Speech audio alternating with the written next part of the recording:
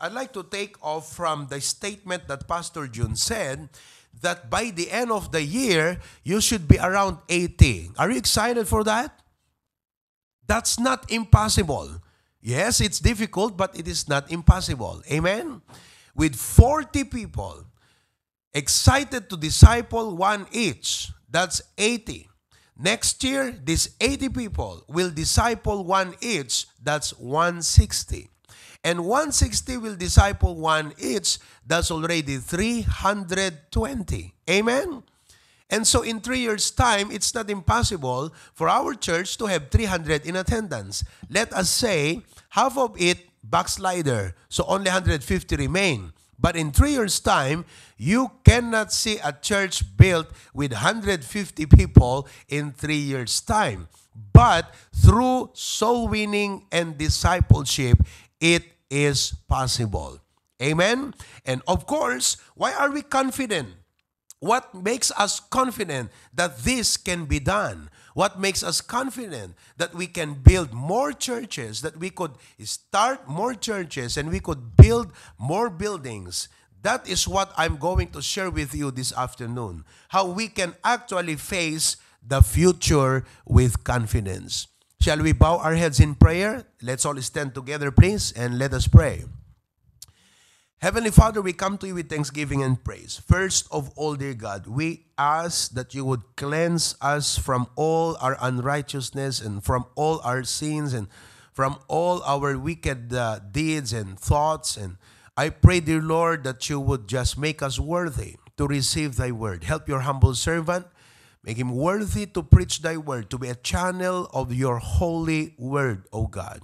Make our hearts ready to receive this word of faith that would encourage us to face our future with confidence. Thank you, Lord, for the lesson that our patriarch have shared with our brothers and sisters. Thank you for our visitors. Thank you for those watching on YouTube right now. Bless us in Jesus' name we pray. Amen. Thank you very much. You may now be seated. Listen to this as believers, we are the only people among the 6.5 billion around the world that can claim a, a genuine confidence that when we die, we will go to heaven. There are countless religions around the world Buddhism, Islam. In the Philippines, we have Catholic, INC, all of it, name it. Listen to me only the Baptist people, all throughout the centuries since the very time of the Lord Jesus Christ, can preach a message that can produce a blessed hope and a sure confidence that once you put your faith in the Lord Jesus Christ, you have a genuine confidence and assurance that when you die, you will go to heaven. You ask a Catholic if he is sure about it. No, he is not sure about it. You ask the Iglesia Ni Cristo, they are not sure about it. You ask the JW, you ask the Buddhists, you ask the Islam, you ask these people, are you sure that when you die you will go to heaven? They cannot give you an affirmative answer. But praise God, because of the teaching of the Word of God, the faith and the gospel that had been passed on from the Lord Jesus Christ to the Baptist disciples all throughout the centuries, we have the message of truth today. And we can claim that we are ready to face death anytime because we are confident that when we die, we will go to heaven. Let me hear you say aloud, Amen to that. However, folks, however, we are not yet in heaven. Our hope is not only the confidence to face death, but our hope is also a confidence to face life and our future here on earth. And so I speak to you this afternoon how to face the future with confidence. If I were to ask you, how do you see the future? How do you see the future? what would be your answer? We either see the future through the eye of faith and have a mind uh, through the eye of faith and uh, sorry, we can either see the future through the eye of faith or have a mind full of doubts and fear. Now, I would like to encourage you that we need to see the future through the eye of faith. We either trust God and think big. Listen to me. Faith empowers us to think big. Do you know why Pastor June could declare by the end of the year, we will have 80 in attendance? Why? Because he is seeing the future in the eye of faith.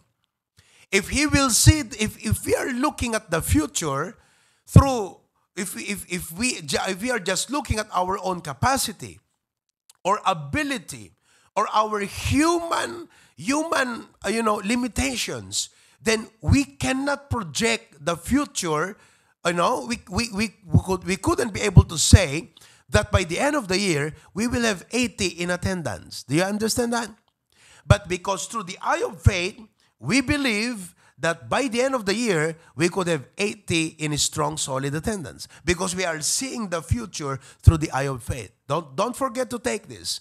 Faith empowers you to think big and dare to do great things for God. Or we can be paralyzed by the spirit of fear. When we are controlled by the spirit of fear, we can never prioritize God's command because God's command, God's mandate requires our faith. Listen to me. God's grace is abundant, abundant, but our response should be faith.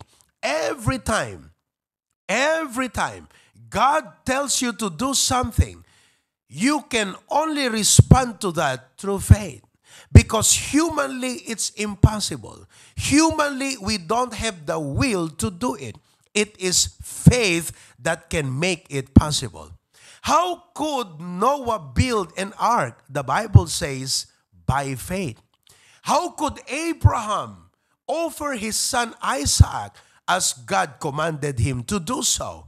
He did it by faith. How could Moses leave the honor and glory and comfort of Egypt and be with the people of God, the Israelites, and leave the place and lead them to the promised land. How could he do that? He did it by faith. How could we, now in our case, how could we perform the Great Commission? By faith. When we say Great Commission, we believe that the gospel should not only be preached in Oahu, there must be a gospel witness in Kauai, in Maui, in the Big Island. As HBBC, we are taking the Great Commission seriously, and there must be an HBBC gospel witness to every single island in the whole of Hawaii. And I believe we can extend it to the mainland in USA. How can we fulfill the Great Commission to such a great extent and degree? We can only do it by faith.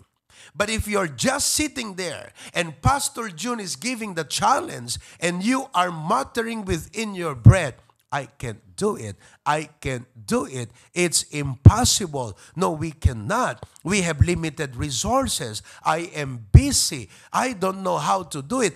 If you are good in coming up with negative excuses, then I'm telling you, you are getting nowhere. You will never grow. You will never develop. And you will never be a blessing to the church where God has placed you. But if while you are listening, your heart is responding with faith and you are saying, God, I cannot, but you are not telling this to us if you will not enable us to do it. And so, God, I take it with faith. I accept it with faith. I believe it can be done. And I'm telling you, follow God and you will see. Let us face the future through the eye of faith. If we allow the spirit of fear to dominate us, we will diminish our usefulness. You know why many Christians are not useful in the ministry? It is not because they don't have education. It is not for the lack of resources. It is because of the lack of faith. Do you know why many churches are not growing? Do you know why many pastors are not growing? It is not because of their lack of material resources or lack of skill. It is simply the lack of faith. And so, if you look at this lesson, the very bottom line and point of it all, folks, is faith. By faith, by faith, by faith. Tell your seatmate, it can be done by faith. Do you believe? Tell your seatmate that. Come on. Tell your neighbor, it can be done by faith. Do you believe? Do you believe that you can disciple? Do you believe that you can disciple? Do you believe that you can win someone to Christ? Do you believe that you can invite a visitor next Sunday? Do you believe that our church can multiply? Do you believe that we can start a work in the in the other islands of Hawaii? It's a matter of faith. Now listen to me. Fear keeps us from obeying God with our future. The reason why we could not obey God's commission to such a great degree and extent is because of our fear. We have our fears. We have our what ifs. We have our questions like, you know, how about this? You know, you know what fear means? I read from an article the word fear is actually an acrostic, which means false evidence appearing real. It's a false evidence appearing real. You come up with lame excuses that, you know, you, it, it has never happened. It will, it will never happen. But you think as if those are real when they are not. Now, let's take, for example, these excuses are real. I would like for you to know that God is greater than your uh, uh, hindrances and obstacles in life. Therefore, fear is a result of believing a lie, and faith is a result of believing the truth. Let us not believe lie. Let us believe the truth. So believers who are confident, believers who take God's command by faith are confident and they are strong, effective, and fruitful. So we need to learn how to face our future with confidence. Of course, we cannot rest on our own strength because our own strength is not enough. Jesus said, Without me, you can do nothing. So let us dare to do it because we are confident that we have Him. For He said, Without me, you can do nothing. Our own understanding is not enough. You know, the Bible says that God is able to do exceeding abundantly above all that you ask or think. We can only think of 80 in attendance, but God can give us more than that. Because God is able to do more than we can ever think. So don't rely on your own understanding. We cannot do it by our own tools and resources and credentials because they are not enough. They are necessary and essential, but they are not enough. We need God. Amen. Now, let me share with you five keys, five ways on how we can face our future with confidence. Number one, you need to surrender your fears to God. Surrender your fears to God.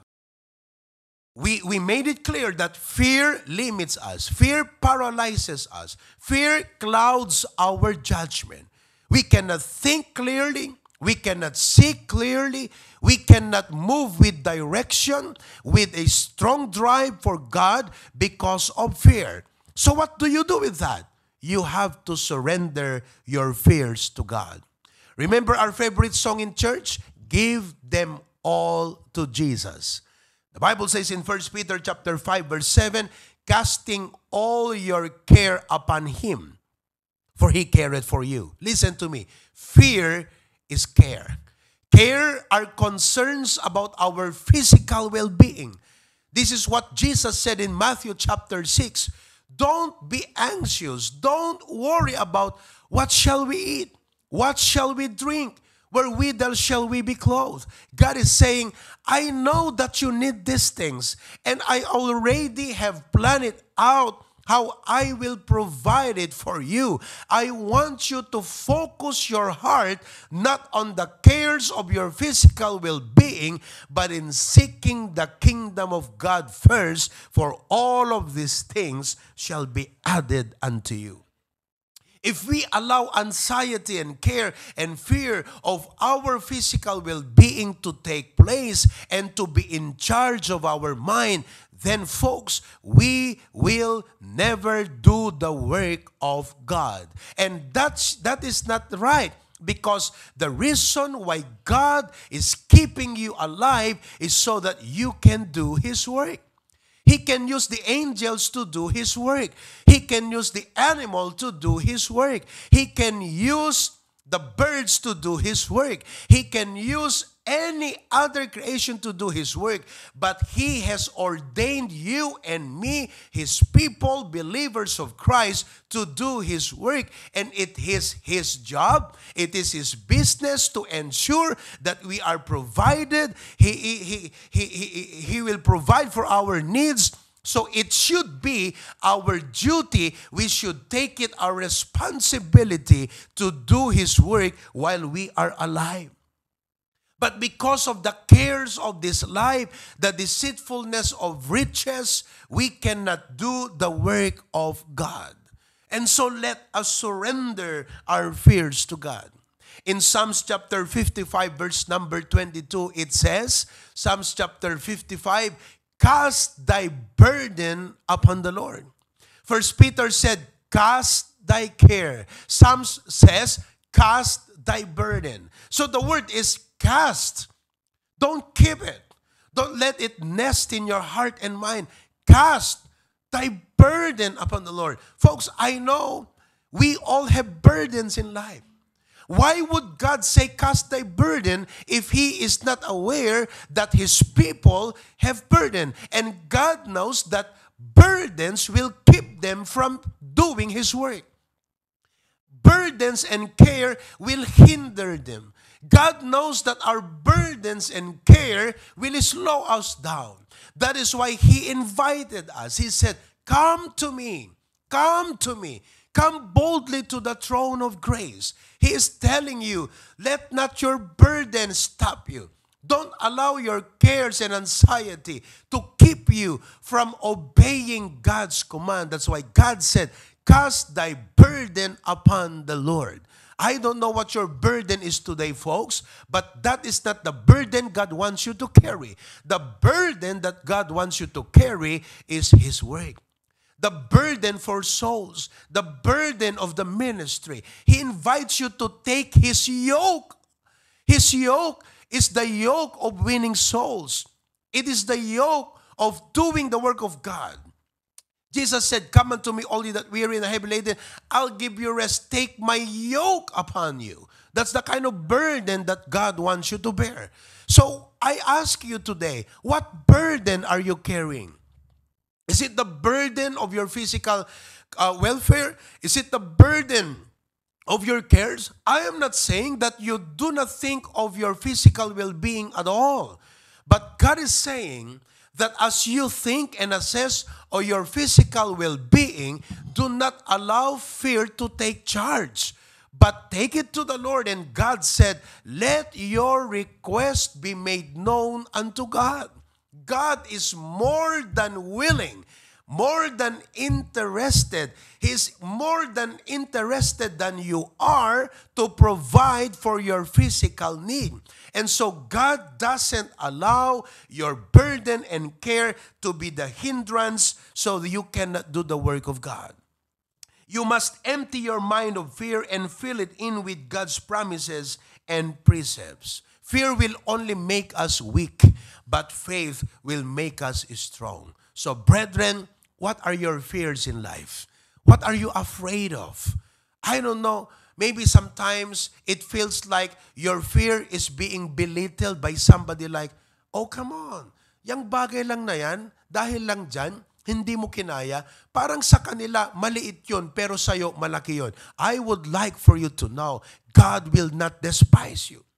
When you come to Him and present to Him your weakness, you will not be ashamed to tell Him of that because hanakanto nga maliitin, hanakanto nga basitin, hanaka nga uyawen, hanako naking ka nga anyakan, day tala nga panagan, di kalakayan, hanako na ti apo ka. Gaputaan mo na kakabsat. Jesus, you know, became flesh and He was tempted at all points just like we are. So that when you come to Him, you come to Him without any hesitation of giving all your care. Say, Lord, Ang burden ko ay anak ko. Ang burden ko ay trabaho ko. Ang burden ko ay yung schedule ko. Ang burden ko ay ganito. Ang burden ko ay ang relasyon naming mag-asawa. Ang burden ko ay ang magulang ko. Come on, tell everything to God. Cast thy burden upon the Lord. But it doesn't end there. That is just the beginning. God wants you to release these burdens to Him so that you can freely serve Him with confidence. That's number one. Number two, not only surrender your burdens and fears to the Lord, but count on God to provide. If you are to face the future with confidence, count on God to provide. Now, what do we mean by that? It means this. It means this. You take an inventory. You take a clear evaluation of your needs. For example, I know that you have a list of this is this is for my bill, for my house rent, for my house amortization, this is for my car, this is for my food, for my grocery. I want you to take an account of all of your needs. But don't stop there, folks.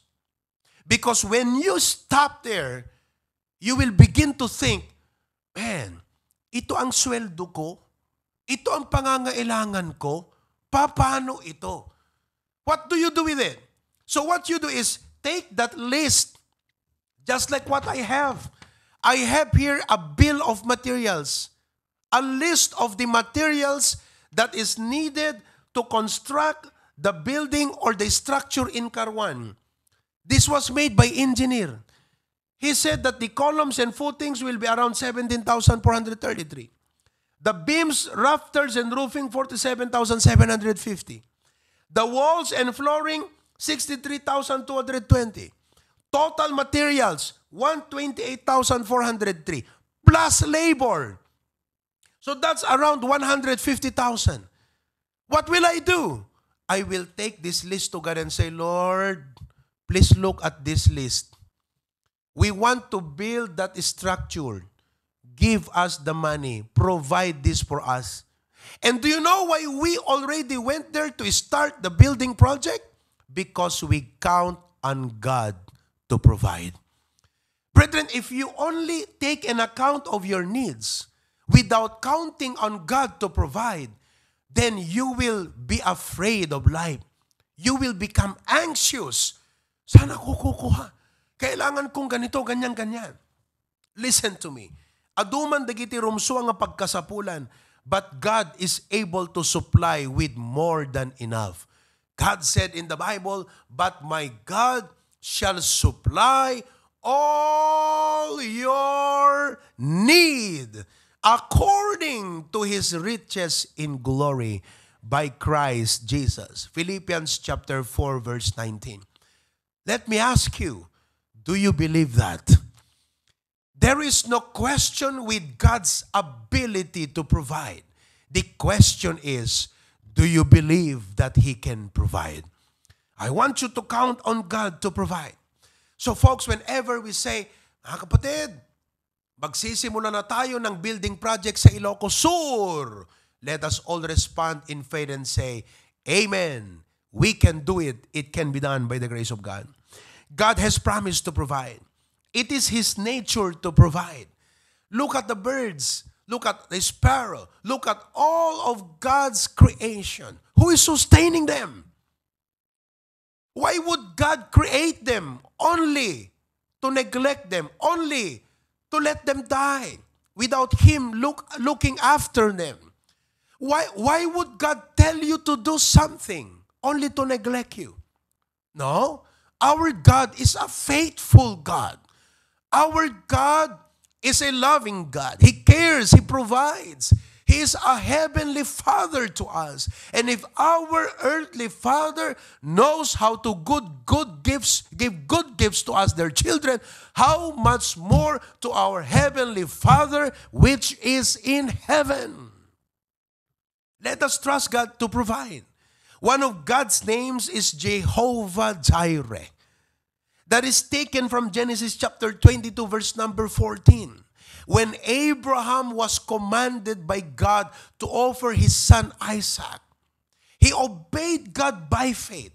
He believed that God will provide him a sacrifice instead of his son. But he will never encounter the amazing provision of God if he did not take the step of obedience. Listen to me.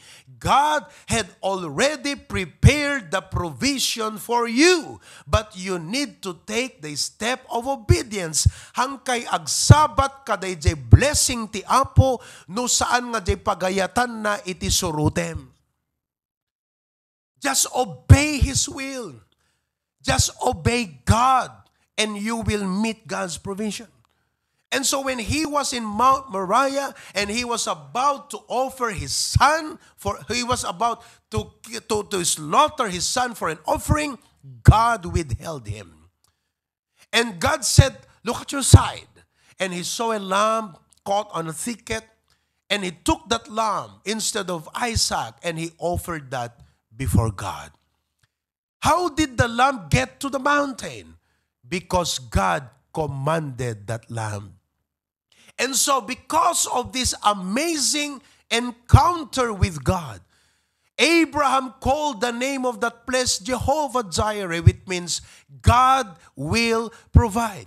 He built an altar to memorialize his encounter with God. And he declared to everyone that our God is Jehovah Jireh. It means that God will never stop providing. He provided, He will provide, and He will always provide. Now, you might be asking, but Pastor, how will God provide? You believe God's ways. God has amazing ways to provide. But I read in the Bible that God's ways to provide is this He commands the blessing. God commands the provision. You know our grand piano here? I shared that yesterday. It's a 500,000 worth grand piano. During the pandemic, a lot of folks were watching our Facebook. And while I would play the piano, one person observed me play the piano. And she said to herself, Rev, yung piano ni Reverend hindi maganda. Ano kaya kung isuggest ko sa kanya na bumili sila ng grand piano? Kasi may grand piano sa bahay niya. Can you imagine that? May grand piano siya sa bahay. So isuggest ko sa kanya, mas maganda. So, she messaged me and she said, Reverend, your grand piano, your piano does not sound good. How about buying a grand piano? So she, she actually, what? Uh, kaslang inimply na kakabsat, they desire na nga mang-provide.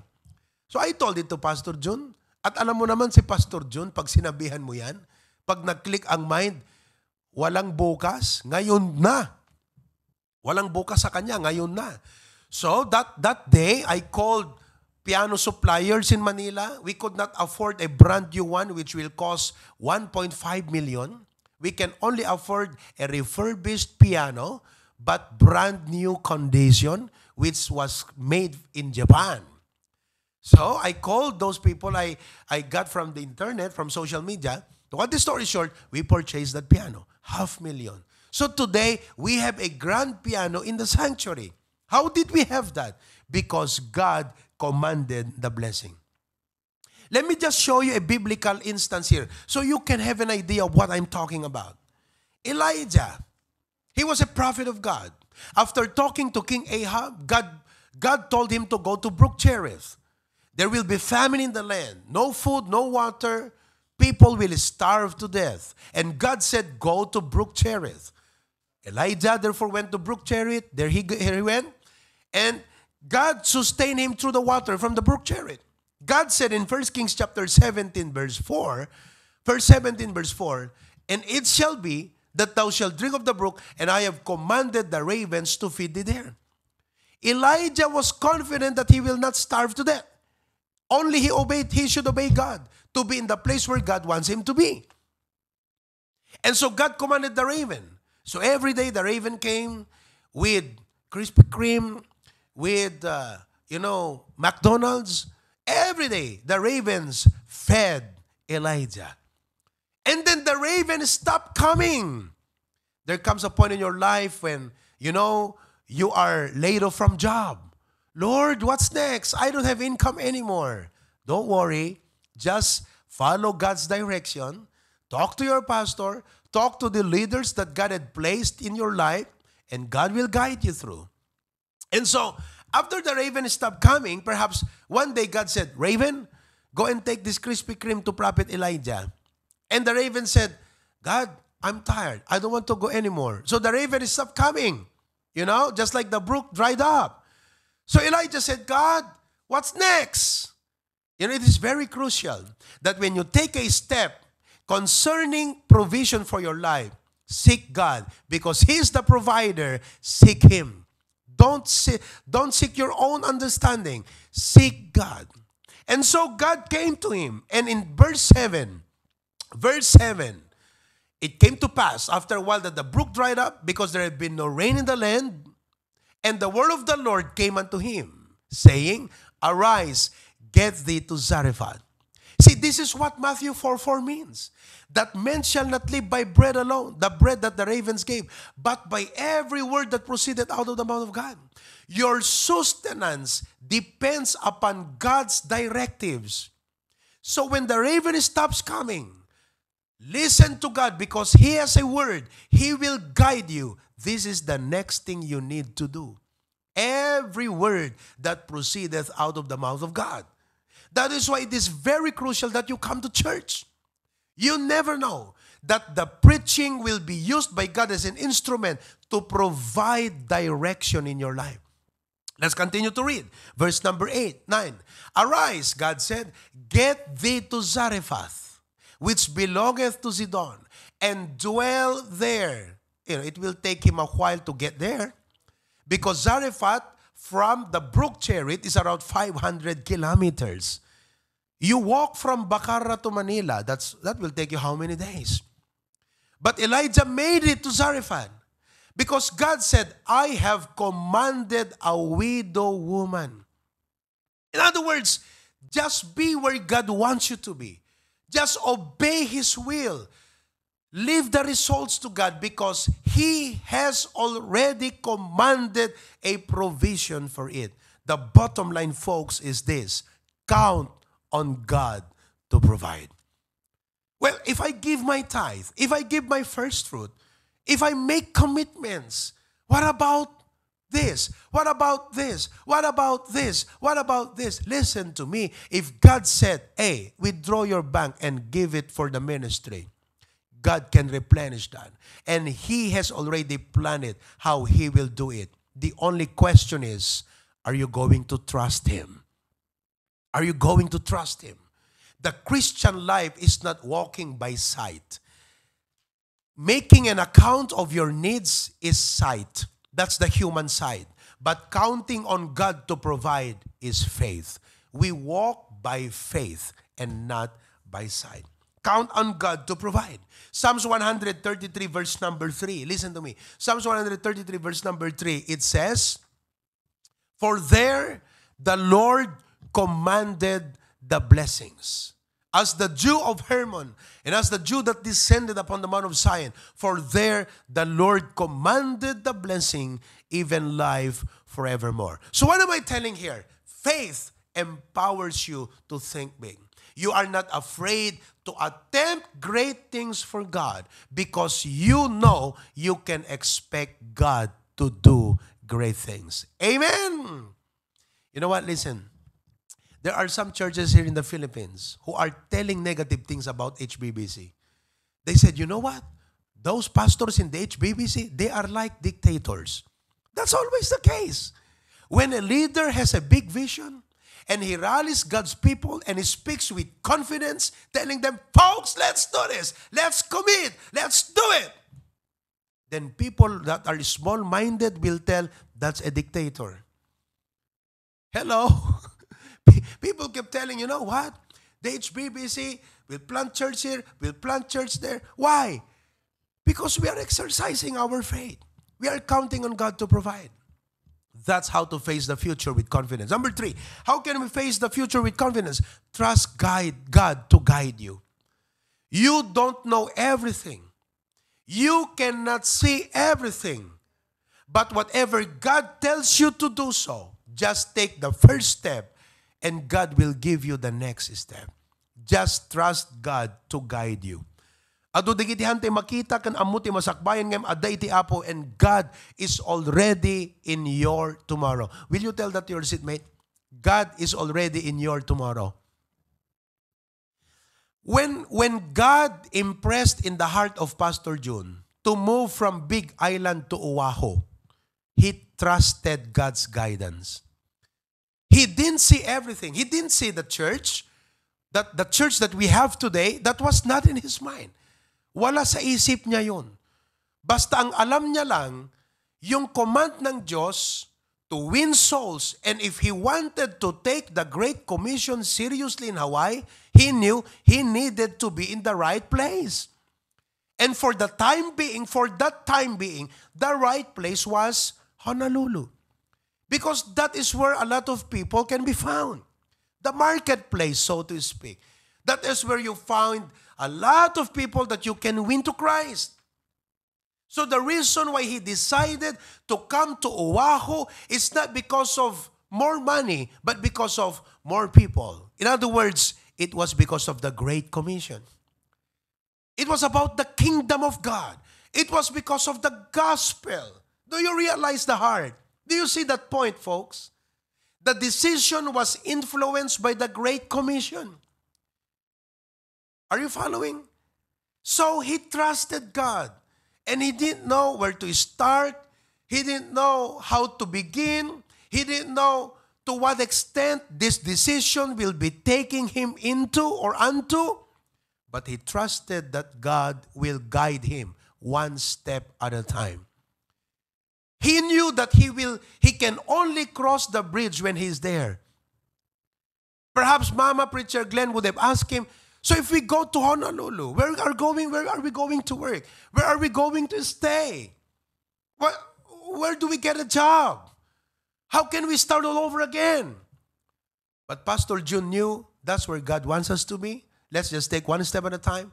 I cannot fully answer your questions, but you know, let's get let's cross the bridge when we get there. The most important thing is let's be there. let's go there. So to Honolulu they went. They came to that place. And lo and behold, God, you know, unveiled so much wonderful blessings in which you and me today are recipients of that step of faith. You see, folks, listen. It is not the quantity of the many things you do in life. It is the quality of what you do that will produce so much quantity in life. Just one step of faith will make all the difference in your future compared to the many things that you are doing now. Ang dami mong ginagawa sa buhay, pero hindi naman ito step of faith. Walang mangyayari. But take a look of one step of faith in obedience to God's direction. It will make a big difference in your future. Trust God to guide you. Proverbs chapter 3, verses 5 to 6, Proverbs 3, 5 to 6, it says, Trust in the Lord with all thine heart, and lean not unto thine own understanding. In all thy ways acknowledge him, and he shall direct thy paths. God has promised to direct our paths, but we must acknowledge, meaning we need to consider what God says. We need to consider His command. And you know what? Listen to me. You are sure of the way, even if you don't see everything in the future, but you will be sure of your way if your guide knows the way. Amen. And we cannot see tomorrow, but God is already in our tomorrow, and we are sure to obey Him. We are sure of the ways we obey Him because God knows the way. Amen? I remember a few weeks ago when we drove to Manila to pick up the musical instrument, the items, you know. And uh, I, I brought with me Edward and Carlo because I, I, I knew I could not drive back and forth Manila back to Ilocos uh, just by myself. I needed I needed a carrelievo.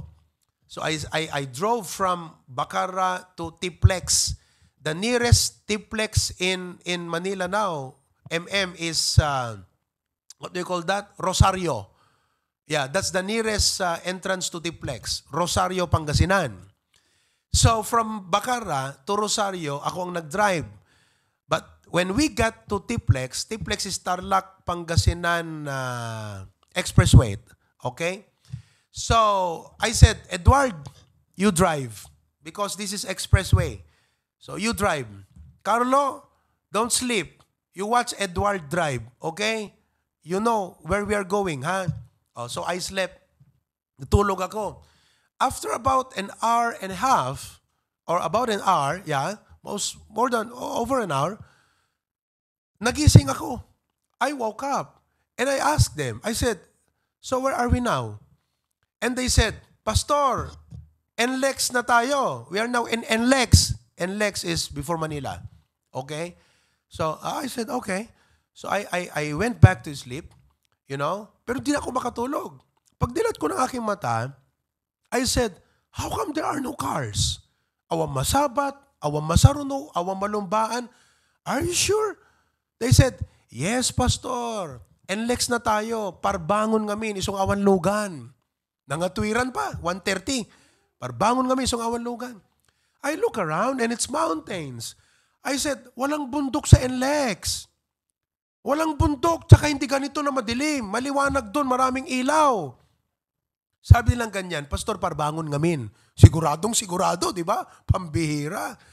Di, maya-maya, makita namin yung mga label, mga kapatid. Sabi ko, hindi NLEX to. Papuntang Subic ito, sabi ko sa kanila.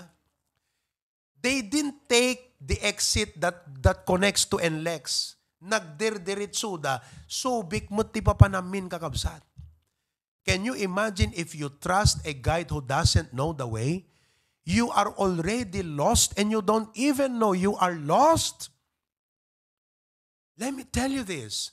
If you make the unbelievers your guide in life, they themselves are lost and you follow their path, both of you will be lost. How can a blind lead a blind? Both of them will fall into the ditch. So we need to follow God. And we need to go to His servants He has called to guide us and look after our faith. Amen. Let us follow God's guidance. Trust God to guide you. Amen. Let's continue it next time. This is a wonderful message. I hope you were encouraged and your faith was challenged to trust God with your future. Heavenly Father, thank you so much. What a great blessing and encouragement to us today. We will never accomplish great things for you. We will never see you unveil what you have in store for us if we do not trust you and take the step of faith. Dear Lord, I know that you want us to advance in the kingdom. You want us to expand our territory, to enlarge our coast.